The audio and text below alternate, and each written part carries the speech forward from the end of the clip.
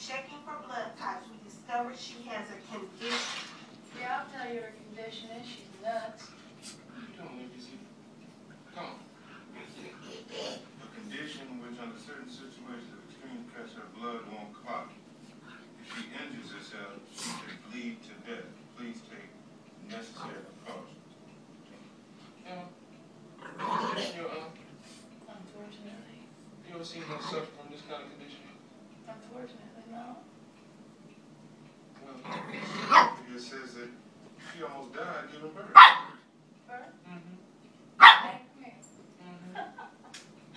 Well, that's impossible, because she never even got the leg. You mean, you got a cousin somewhere? Just Willis, as far as I know. That's interesting.